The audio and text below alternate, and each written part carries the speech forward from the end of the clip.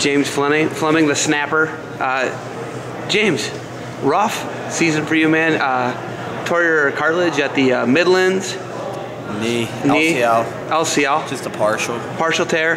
Uh, you default out there. Um, and then the rest of the season, you're trying to get back into it to qualify for the tournament, build wins. You're able to do that. I mean, I watched, uh, was it the I didn't miss any competition. Peppelman match here. Yeah. That, that's a match where I saw you, you're up like 11, 12, nothing, then you pin him. Uh, no, I didn't pin him. I just was up 12 nothing. My first 12. match against. No, I didn't, I didn't pin anybody here. Didn't pin anyone here. Nah. Any techs? Uh, first match against Purdue. Purdue, you had a tech, Churcher. Yep. Then uh, in the All American run, you have uh. Yeah. Really good on his feet, super explosive. How are you able to negate someone like that? Uh, I was just staying. I was looking for my attacks. I mean, that's what got me here. Actually, got me to where I was. It was a rough tournament, and uh, you know, not being 100% here is kind of rough. I mean, I've been there before, and I knew it was wasn't going to be easy. So uh, I stayed to what I'm good at, and I got in every match I won. I got the first takedown. So- So, I was I was looking to attack really, and looking to find my takedowns, and uh, you know, start off up four or five nothing, you know, take a guy down to his back, and I was able to do that in like three matches here, three four matches. So coming up four or five nothing, and then getting a guy rolling to his back a lot. That I mean, it makes the day a lot easier. The snapper notorious for you know going hand fight in the first period, maybe giving up a takedown or two, Right. and then choosing top. Right. You know, to change that game, be injured all year, and come here and take eighth place. That's probably that's something that's pretty amazing when I talk to you about it. I mean, yeah, there was choices in like the Minnesota match to cut the guy in the third period because I literally had nothing left, like my arms, my legs. I wanted to get, I practically wanted to be carried off the mat. I was so exhausted uh, from like lack of being on the mat, trying to get healed for this tournament, trying to uh, trying to take a whack at winning it, and it, you know it stinks that you know I didn't get get to where I wanted to be, but I, f- I feel confident in, like what I did, and I I'm happy with it uh, considering the circumstances. Being a two-time All-American, man, you've Yeah. had you've wrestled three head coaches.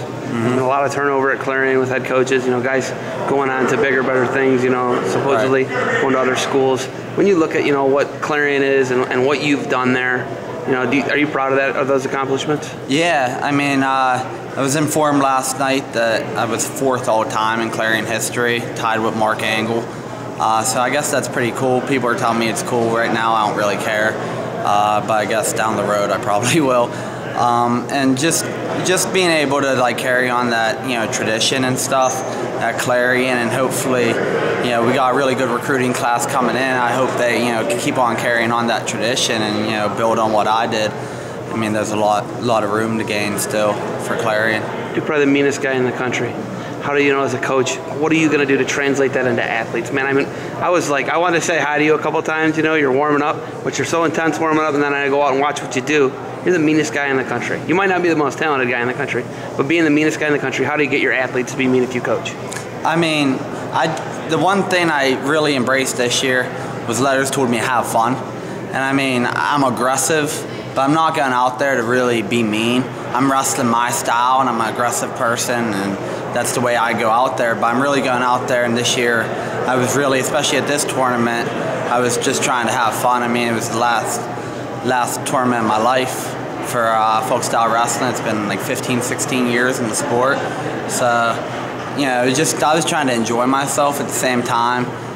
Uh, and that's more what I was concentrating on. You know, the aggressiveness just comes naturally with the style of wrestling I do. And uh, to translate that into athletes that I have down the road, I mean, just teaching them the pressures and teaching them how, you know, the fight it takes to get to the top and, you know, to fight through some of the adversities you feel in life and some of the adversities you end up on having on the mat and just, you know, really instilling like the knowledge of, you know, what it takes to, you know, get here and the motivation you need to have no matter what their style is. Just fighting. Yep, just fight. I mean, that's how you get to the top, and I've been fighting my whole life, and I'll keep on fighting until I'm at the top of the next thing. All right, Fleming, you got anything else for me? Ah, no, that's about it. All right, it's been a pleasure watching you, man. One of the more fun careers to watch. And uh, hopefully we'll see you down the road coaching or fighting, all right? Yep,